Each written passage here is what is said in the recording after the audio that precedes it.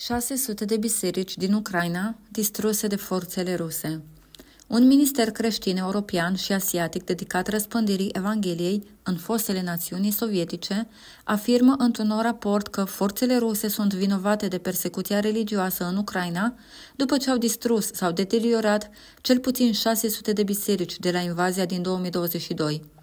Raportul Fate Arder Fire de la misiunea Eurasia spune că majoritatea distrugerilor și daunelor aduse bisericilor sunt cauzate de rachete, drone și lovituri de artilerie, deși structurile religioase au fost de asemenea deliberat jefuite de soldații ruși și închise sau reutilizate în scopuri administrative, clădiri de către autoritățile de ocupație. De asemenea, forțele ruse au confiscat biserici pentru a le folosi ca baze militare sau pentru a ascunde poziții de tragere, se arată în raport.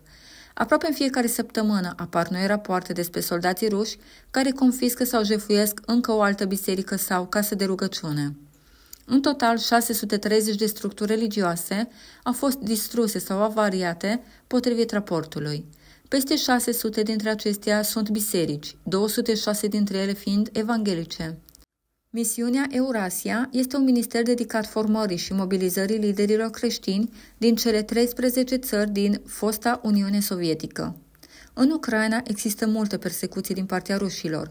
Când preiau și cuceresc teritorii, practic răpesc bisericile, le împing afară, a declarat președintele misiunii Eurasia.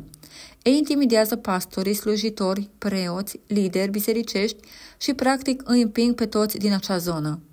Înainte de invazia rusă, a adăugat el, creștinii ucrainieni se bucurau de libertate religioasă. Nu cunosc nicio altă țară din jurul Ucrainei în care să existe mai multă libertate religioasă, a spus el. Guvernul ucrainean promovează în mod special libertatea religioasă, oferind tuturor credincioșilor, fiecărei tradiții bisericești și tradiții de credință, drepturi egale de a se închina așa cum doresc. Relatează crossfalct.com